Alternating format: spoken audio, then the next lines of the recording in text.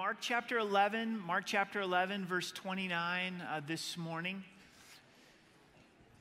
Jesus is calling out the Pharisees, the lawyers, and he gives them warnings, woeful warnings. There's four woes in this uh, section of Scripture. Jesus is loving us enough to speak the truth to us, to challenge us this morning.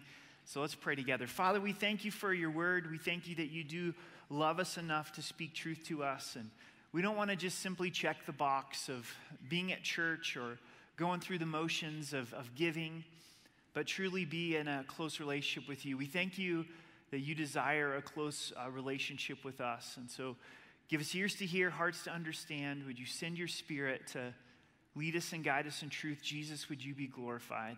In your name, amen. The Pharisees, rightfully so, get picked on a lot because they're so far off at the time of Jesus. But it's good to note and remember that they started off well. The word Pharisee means set apart ones. Their hearts had been touched by God, and they said, We want to follow God. We want to be set apart from Him. But over time, they moved away from a relationship with God really into legalism and adding rules that were above and beyond what the Lord had said in His Word. And we'll find in our study this morning that they had completely missed the point. I think it's a good warning for us as well because we could fall into the same trap of the Pharisees. Where the Pharisees went off, I think, is where we'll tend to go off as well.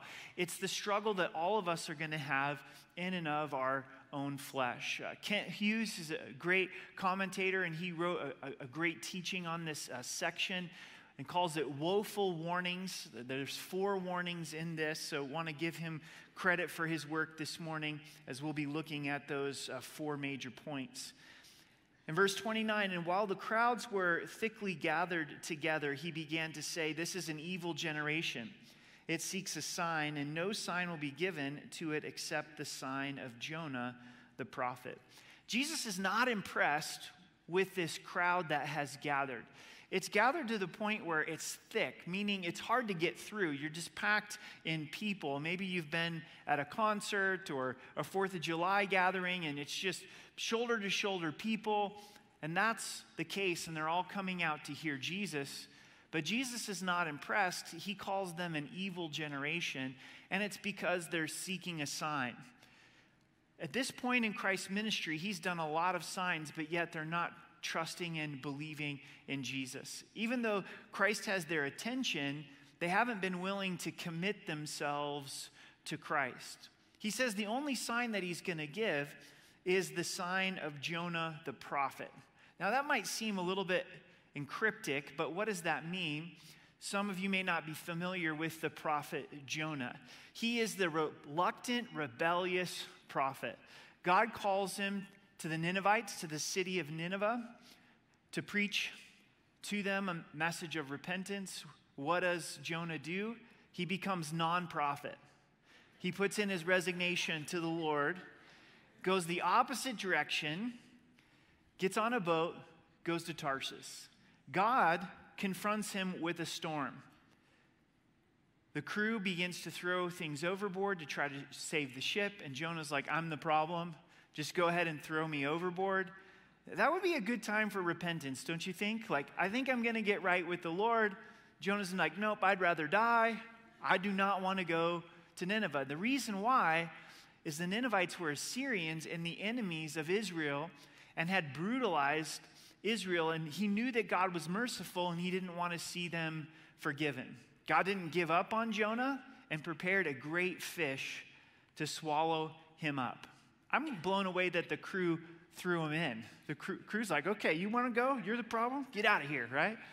Here comes this great fish that swallows him up. And the scripture tells us that he was in the belly of this fish for three days and three nights. And this is where it points to Christ. How long was Christ buried? Not in the belly of the fish, but in the tomb, three days, three nights. Jonah gets right with the Lord. He waits three days to get right with the Lord. Not very nice living conditions, I would imagine, inside of this great fish. Disgusting. As he repents, then the fish has an urge to regurge, barfs up Jonah, Jonah comes into Nineveh with a bad attitude and says, Repent. And it's maybe one of the greatest revivals in human history. This pagan city repents and gets right with the Lord. Then Jonah goes outside the city and pouts that God has forgiven them, right? How does this tie into Jesus? Christ's resurrection. The resurrection of Christ is the ultimate sign. Jesus is saying, if you're not going to trust the resurrection, then what are you going to trust? He predicted his own death, burial, and resurrection. To this day, the resurrection is proof that Christ is who he says he is. For as Jonah became a sign to the Ninevites, so also the Son of Man will be to this generation. Jonah was the sign to Nineveh. Jesus, the Son of Man, God in human flesh, is the sign to this generation. The queen of the south will rise up in judgment with men of this generation and condemn them. For she came from the ends of the earth to hear the wisdom of Solomon, and indeed a greater than Solomon is here. We know from the Old Testament this is the Queen of Sheba. She comes from the region of Ethiopia, travels all the way to Jerusalem, simply because she heard of the wisdom of Solomon. And Jesus says, the Queen of Sheba was willing to travel, sacrifice, and listen to Solomon.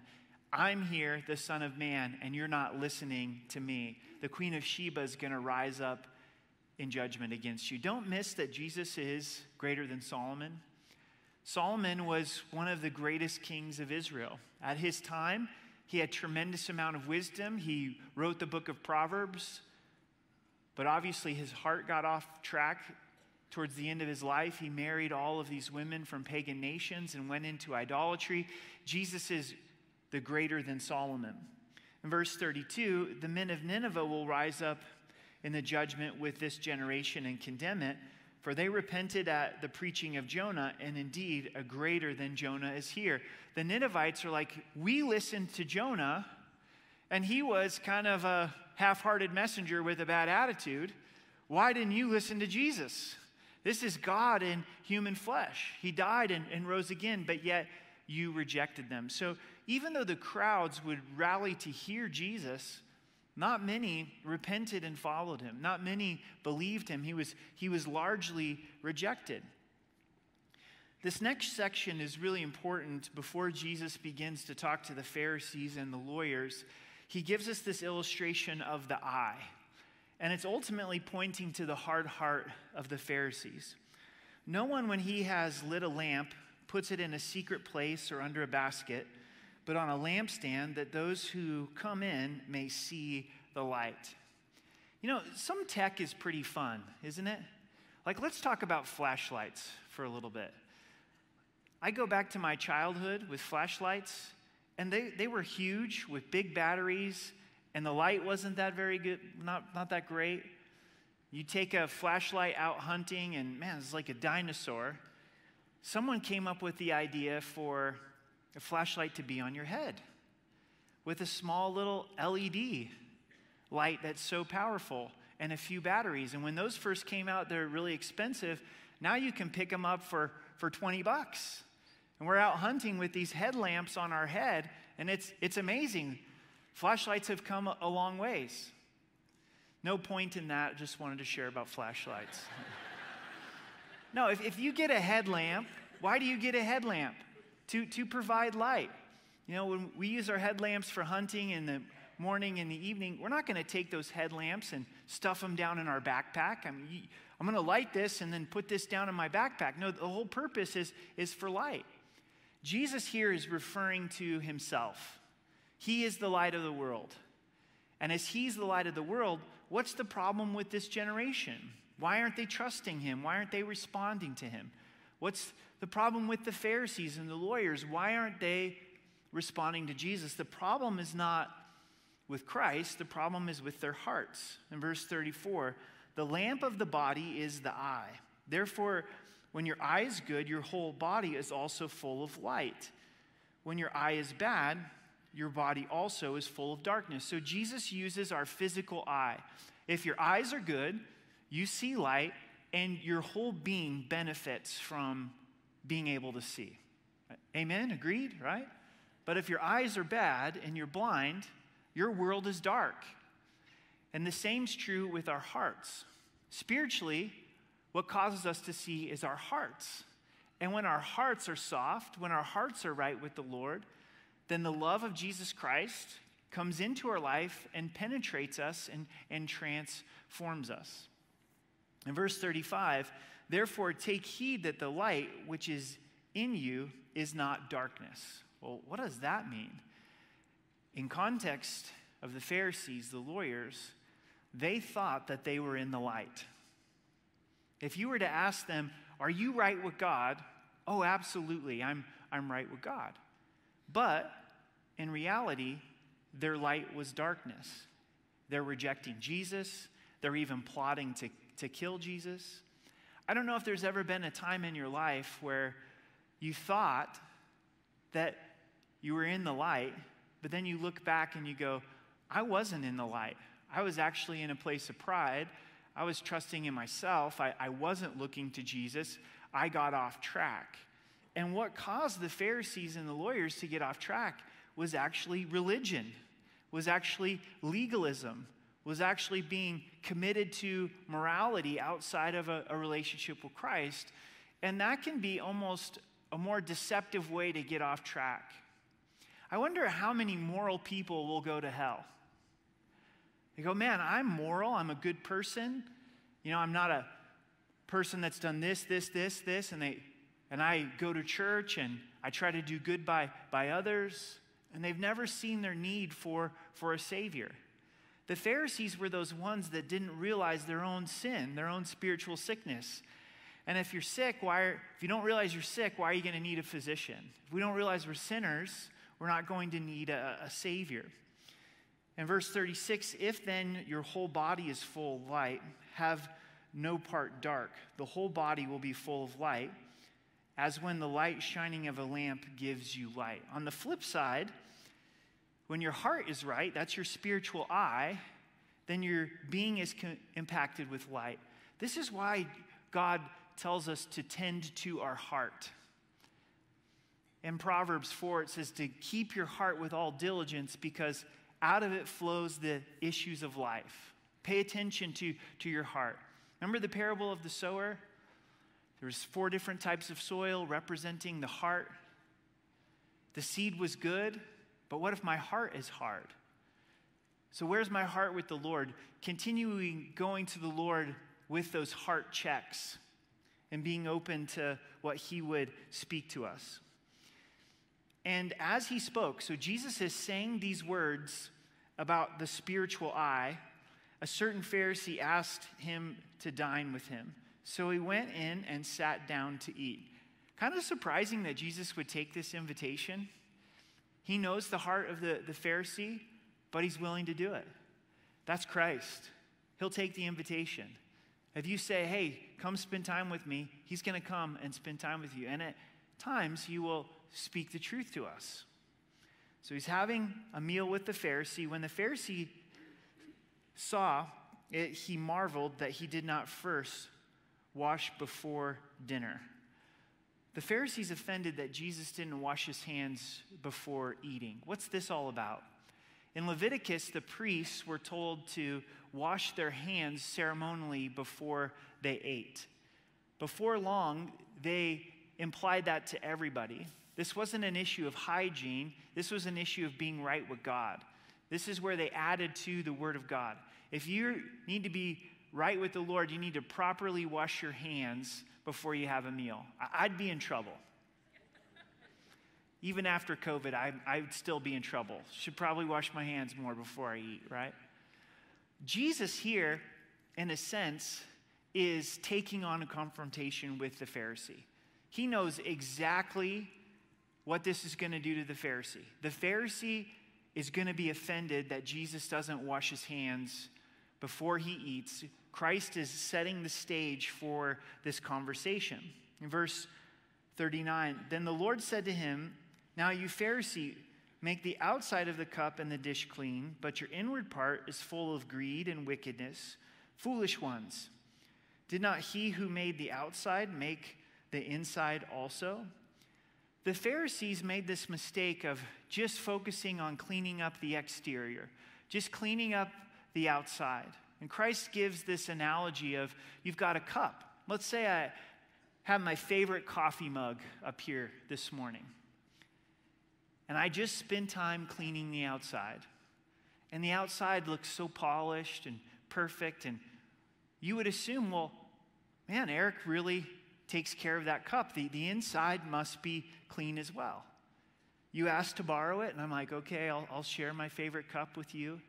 And you look inside, and I have left coffee inside of that coffee mug for six months, you say. Have you noticed if, if there's like maybe a quarter cup left in there and you just leave it for a long period of time, it actually grows mold. It really does. And it gets, gets disgusting. You're like, what's wrong with this guy? Like, clean the inside of the mug. It's fine to clean the outside of the mug, but what really matters is the inside. And what matters to the Lord? It's the inside. Part of what the Pharisees overemphasized was what you would eat. And I'm got to make sure that I don't accidentally eat a gnat because that could make me unclean. And in Matthew 15, Jesus says, Do you not understand that whatever enters the mouth goes into the stomach and is eliminated? But those things which proceed out of the mouth come from the heart, and they defile a man. For out of the heart perceive evil thoughts, murderers, adulterers, fornication, thefts, false witness, blasphemies. Religion, legalism, it's all going to tend to focus on the exterior, what people can see. We want people to think well of us, and so we take all of this time to go, well, how am I appearing to others? And we can neglect the heart. We can neglect really what's going on on the inside. And Jesus, thankfully, can change and transform the heart. When we're honest with Him about the greed, the lust, the anger, the bitterness, the covetousness, and confess that to the Lord. He's able to forgive, He's able to cleanse, He's able to give us the, the power to change. But that's where we meet with the Lord, is, is what's really going on the inside. We can fool people, can't we? We can play this game just like the Pharisees, but we can't fool the Lord. What I think happened to the Pharisees over time is they got self deceived because they were to able to scrub up the outside, they assumed that the heart was good. And they stopped being convicted about what was going on in their heart. Verse 41 But rather give alms of such things as you have, then indeed all things are clean to you. Jesus is pointing out as, as you give and, and you share, then that impacts your, your whole entire being. He goes deeper into this issue of giving but woe to you, Pharisees, for you tithe mint and rue and all manner of herbs and pass by justice and the love of God. These you ought to have done without leaving the others undone. If you're taking notes, the first woe, but woe to you, Pharisees, is woeful giving. Woeful giving. Jesus is saying giving is good, but your giving has gotten off track you're tithing on your mint. I don't know if you've ever had a mint plant or grown mint in your, in your garden. It's like a weed, it will take over, and you will have tons of mint. Imagine being out in your backyard with all of this mint going, I got to make sure to give 10% to the work of the Lord. I'm going through my cilantro. Got to make sure to give the cilantro to the Lord. And Jesus like, that's good and fine. It's not wrong for you to tithe on your, your, mint and your herbs, but you've missed something. You, you've passed by justice and the love of God. They're majoring on the minors, right? And the minor things have become the majors. They're no longer concerned with justice and love for God. I think it's important for us to understand justice from a biblical perspective. Justice from a biblical perspective is for evil to be held in check. Justice is not socialism. There's a lot t- today that will use the phrase social justice, and when you look at that more closely, it can be a teaching of socialism, and they impose socialism on biblical justice. Socialism is not biblical justice, but that's a study for another day. I could get off track with that. Just to, I would encourage you to study justice from the scripture. Micah 6 8 tells us, And he has shown you, O man, what is good and what the Lord does require of you to do justly, to love mercy, and to walk humbly with your God. This is important to the Lord as we see evil taking place, that we stand up and say, No, we need to be a voice for justice. And the Pharisees had lost sight of that, but they also had lost sight of loving God. Now, can't giving be an expression of loving God? Yes. It goes back to our heart. If our heart is right, if our heart is trusting in what Christ has done, so thankful for his provision in our life, and giving is the overflow of that. But also, giving can be a box that we check. It's like, well, I'm tithing, I'm giving to the work of the Lord. I set up reoccurring giving, so now I don't need to worry about my relationship with God. It almost can become like this penance type of thing. Well, well, I'm, I'm giving to, to the work of the Lord, but my heart isn't in a place of loving the Lord, isn't in a place of walking in his ways and being committed to justice.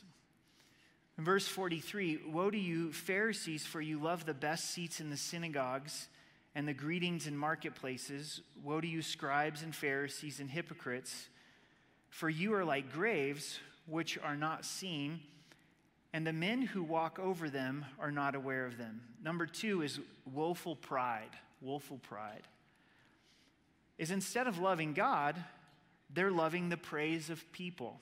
They want the best seats in the synagogues. They want to be recognized in the place of, of worship. They long for the greetings in the marketplace to be recognized in the marketplace. Oh, there's Pharisee so and so. There's lawyer so and so. And Jesus says, Woe to you, scribes and Pharisees. You're, you're hypocrites. You're acting. You're, you're more concerned with the praise of people than being in love with the Lord. And this can creep into our lives. I think our flesh really tends to go in this direction where we want to be recognized. And that has to be nailed to the cross. You know, I'll, I'll, confess to you, like when I clean the kitchen and do the dishes, I do really want to be recognized by the family, right? I, I want someone to say, hey, dad, thanks for doing the dishes. And especially if the family has contributed dishes that aren't mine. It's like I don't I don't mind doing my dishes, but I'm doing your dishes, right? And so I want you to recognize that I did this for you. And that, that's my flesh wanting that recognition. And Jesus encouraged us on the Sermon on the Mount to, to do things in secret so that our Heavenly Father can reward openly to really guard towards this. Like, am I, am I doing this for the Lord or am I doing this to be recognized? And again, I think the Pharisees started well. When they began, it wasn't about this recognition. But over time, it shifted, and they're living for the praise of people. And our culture seems to be very much a, enamored with this, and social media plays into this. I'm going to put this out on, on social media. And I don't think social media would be what it is without the like button. That like button is, is the praise of, of men. Oh, how many people liked the post? How many saw the post? How many shared the post? Oh, there was only two likes. Or there was 33 likes and all of those, those type of things. And Paul gives a really powerful verse on this in Galatians 1, verse 10. He says, For do I now persuade men or God? Am I trying to please men or God? Or do I seek to please men? For if I still pleased men, I would not be a bondservant of Christ. Paul says you can't have it both ways. You're either going to be a servant of Christ and long to please him, or you're going to live for the praise of people. In verse 45, then one of the lawyers answered and said to him, Teacher, by these things, teacher, by these things you reproach us also. They're getting the message. They're saying, ouch. Now a lawyer chimes in and says, You're indicting us as well. We have to understand lawyers from the context. What was the law at this time?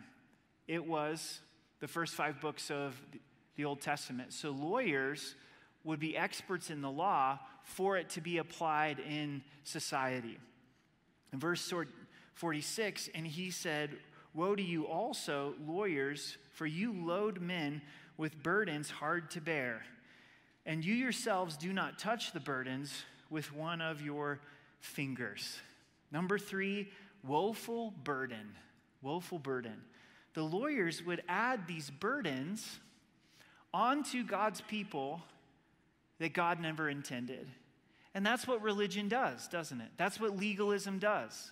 It's not stuff from the scripture that God is telling us to do, it's rules that people have come up that have placed them on us. In generations past, it was taught to believers oh, you can't go to the movies, or you can't play cards because that leads to gambling. Well, where's that in the scripture? You know, sometimes as believers, it's like, well, if you're really following Christ, you have to read through your Bible in a year. Like, if you don't read through your Bible in a year, you may not be saved. Like, if you're really saved, the new year's coming, and you better do it in a year, right? It's like, well, where's that in the Bible?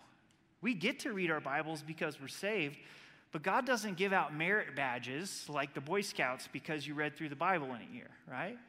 These burdens that get placed on. Well, if you're really serious about Christ, you would fast and pray at least one day a week. I mean, look at the prayer life of Jesus. Now, is it good to pray?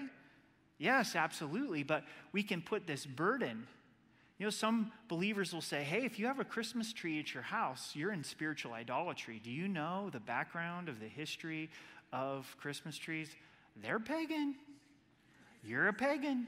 You're worshiping the devil because you got a Christmas tree, right? It's like, well, God knows your heart. I'm, I'm not worshiping some false God because I've got a tree in, in my house, right? But these burdens that can get placed. And we need to be careful that we don't lay burdens on people that God hasn't placed on them. And where these lawyers also have gone wrong is they have no intention of lifting any of these burdens themselves. So they'll place a burden on somebody else that they have no intention of, of living under. And that, that's a good thing for us to examine. Am I asking others to do something that I have no intention of doing? And, and I think this is a strong warning to, to pastors and teachers and those who teach the scriptures? Are, are we teaching them accurately? Or are we beginning to lay burdens on God's people that we don't intend to embrace ourselves? Contrast this with the words of Jesus Come to me, all you who labor and are heavy laden, and I will give you rest. Take my yoke upon you and learn from me, for I'm gentle and lowly in heart, and you will find rest. Rest for your souls, for my yoke is easy and my burden is light. Verse 47 Woe to you, for you build the tombs of the prophets, and your fathers killed them. In fact, you bear witness that you approve the deeds of your fathers, for they indeed killed them, and you build their tombs. Number four is the woeful effect.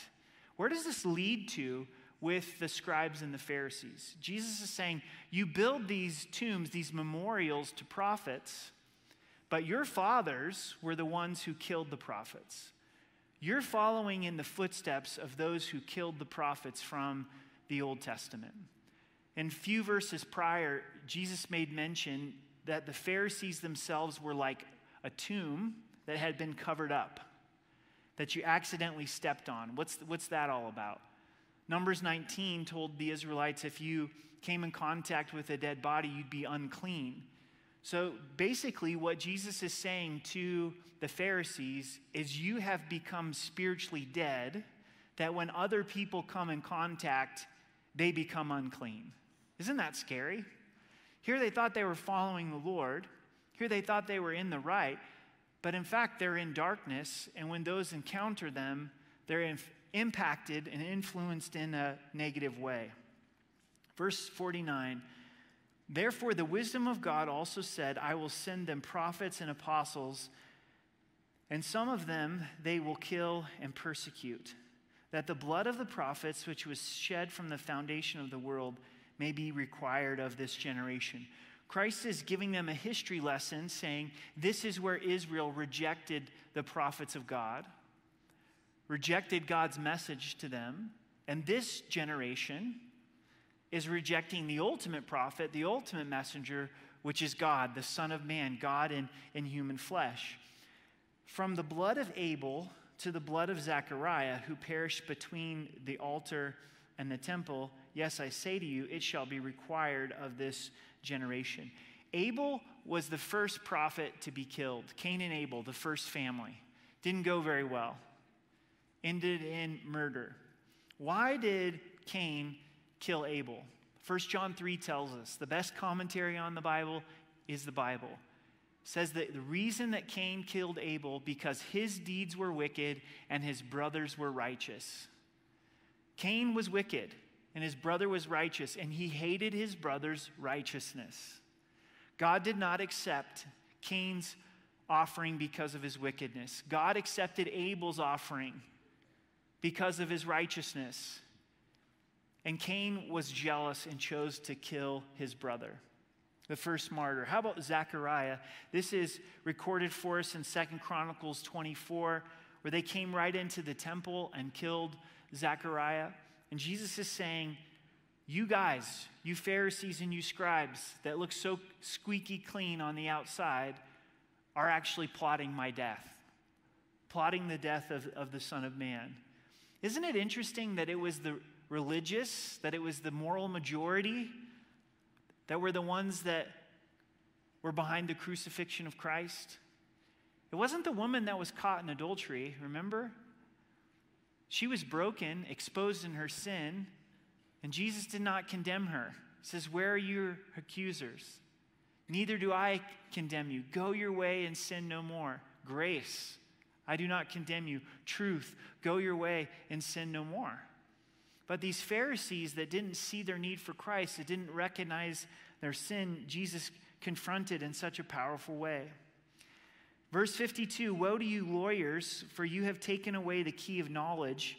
You did not enter yourself, and those who were entering in you hindered. They're preventing others from the knowledge of God. How did they take away the knowledge of God? They elevated the traditions of men the teachings of people and they devalued and diminished the Word of God to where the Word of God had no effect and the traditions of men were held as the words of God. That's the exact same thing that's happening today. Unfortunately, in some churches and pulpits throughout America, is the teachings of men are being elevated when you really examine them, you go, wait a second, that's not even biblical. It doesn't even line up with Scripture, but they're spinning them in such a way where they're attaching God's name to it. You can go out there and find a teaching on biblical sexuality that's not biblical at all. You know what I'm saying? But it will be presented in the name of Jesus. But when you read Genesis 1 and 2 for yourself, there's a clear understanding of what biblical sexuality is. The Bible is being twisted to the point where even universalism is being taught, where it doesn't matter if you believe in Jesus or not. It doesn't matter if you repent of, of your sins. Jesus died for the world, so everybody is automatically saved. So if God is loving, how can God send anyone to hell? Well, that might sound good, but it's not biblical, right? And it diminishes the teaching of God's word and it diminishes the sacrifice of, of Jesus Christ. So, knowledge, the key of knowledge, the knowledge of God, is hindered. And this is why it's so important to never take anybody else's word for it. Go to the scriptures for yourself. We have access to the word of God. We'll be wise to say, I'm not going to allow my life to be controlled and dictated by the teachings of men. I'm going to go straight to God's word. The Holy Spirit lives inside of me. I'm going to study it for myself. Don't believe the lie. I think Satan's lying to us that the Bible can't be understood. We tend to think that, well, I can't study the Bible for myself. Yeah, you can. God wants to com- communicate to you through His Word. The more you study it, the more He unfolds. But this is a scary place to be. These lawyers have come to a place of being a false teacher. They didn't enter into the kingdom of God, but they're also hindering others from entering into the kingdom of God. And as he said these things to them, the scribes and the Pharisees began to assail him vehemently and to cross examine him about many things, lying in wait for him and seeking to catch him in something he might say. that they might accuse him.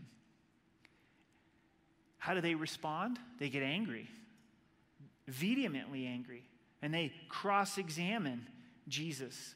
And they're just waiting and waiting, trying to catch him in his words where they can find enough material to crucify Christ. There's another way that they could have responded, and it's in brokenness, humility, and repentance. Wow, Jesus, you're right. We've really missed it. We're more concerned about our tithing on our herb garden than we are on justice, on loving you. We've gotten everything completely mixed up.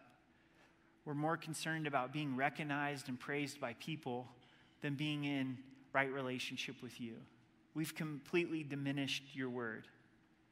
But instead, they get defensive and they attack Christ. I think of it this way is here at the church, we've got the front of the stage, right?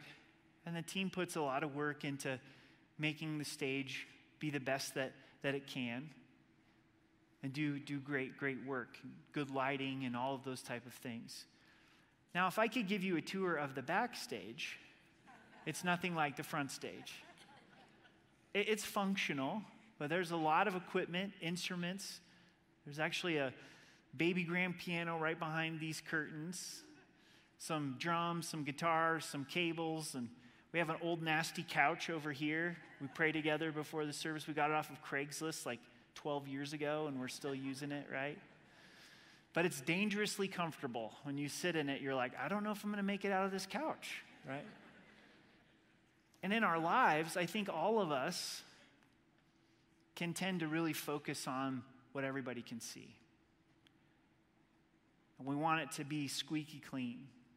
We don't want people to, to think less of us. But then there's the backstage. There's what takes place at home. There's the, the way that we treat our families. It's the reality of who we are online when we're on our devices.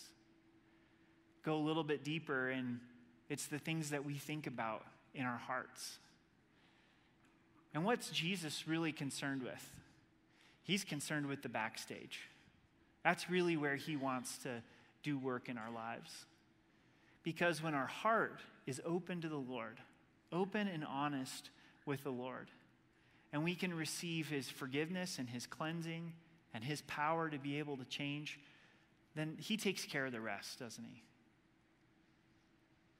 For some reason, I think church and being with God's people almost becomes a place where we feel like we have to hide who we really are. If there's one place where we can be honest and transparent, I think it should be with the people of God. Like we do God and we do ourselves a, a disservice to just pretend that we've all got it figured out. Can we just get over that? None of us have got it figured out. And all of us are sinners. And that's why Jesus came. A great way for us to apply this message this morning is to take communion. Communion is about looking back and remembering Jesus' broken body and his shed blood. Not allowing for it to just be a ritual, just a box that we check. Okay, we take communion together one weekend a month. Let's, let's rush through this and get on with our day. But to stop and be in remembrance of, of the major thing. What's the major thing? That Jesus died for us, that he rose again, that this is his new covenant. To look forward to his coming, to proclaim his death till he comes, but also to look within. Say, Lord, would you search my heart? And I bet most of us know I've already been wrestling with this for a little while. The Holy Spirit's already been shining his light on this bitterness or lust or covetousness for some time. And this is the morning to confess. This is the morning to receive his, his grace, to really walk in a relationship with him that's inside out. And to the best that we can, it's going to be a battle, but let's fight against legalism. Let's fight against this idea of saying, well, I've got to read my Bible in order for God to love me. I, I got to come to church on, on Sunday morning. I'm a Christian, and that's what, what Christians do. I've got to give because God tells me to, to give in His Word, but to allow us to be in this place of, Jesus, you've forgiven me. You don't love me more if I read my Bible. You don't love me less if I don't show up on a Sunday morning. You don't condemn me if I, if I don't tithe. But I want to be in your word because you've loved me and forgiven me. Lord, please protect me from just checking a box and reading my Bible and moving on with my day. But God, I want to I want to hear from you. I want to be in relationship with you. Lord, I don't just want to come to church on Sunday morning and do the Sunday morning thing. Lord, I want to prepare my heart and I want to come and I want to be ready to sing. I want to be ready to worship. I want to be ready to serve and, and bless, bless others. You know, for married couples, those that are dating, how fun is a date with your spouse when they're totally disconnected, but they're checking the box? You know, it always breaks my heart to see couples out with time alone together and they're both on their phones the whole time. Like, are you guys texting each other? What's going on here? But it can easily happen. You can be at the nicest place and be completely disconnected from each other. But then there's other times in relationship with your spouse or dating where you're like, we don't have any money, but we want to spend time together. Let's go for a walk together. I want to hear about your day. I want to know what's going on in your heart and what, what are you thinking? And the heart is connected. See, legalism and religion can just check the boxes, just go through, go through the motions. But God's not about that, is He? He's about the heart.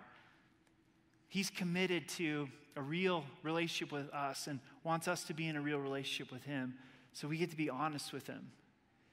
And what's exciting is as we do this, it's so much better than a religion. It's a, it's a real, authentic relationship with Christ. So there's elements that are available here in the front and also elements in the back. You can take one set of cups, uh, the crackers on the bottom cup and the juices on the top. And Billy's going to come and lead us in, in worship. And as we come to communion, if you don't know Christ as your Savior, taking communion is not going to be nearly as meaningful as if you trust Christ as your Savior. Maybe you've been in that place of thinking, well, if I go to church, God will love me and forgive me. The only thing that can forgive us of our sins is to trust the gospel. What's the gospel? That Jesus died, was buried, and rose again. Say, I need a Savior. I cannot save myself through my own works. You know in your heart if you've ever made that decision or not. If you'd like to trust Christ for salvation, inviting Him to be the Lord of your life, repenting of sin. As we come to the communion table, come here to the sides. There'll be a ministry team. If you've got questions, we'd love to try to answer those. There's also a team online. Would love to respond to you if you would like to receive Christ as your Savior. Let's stand together, let's pray, and we'll enter into communion.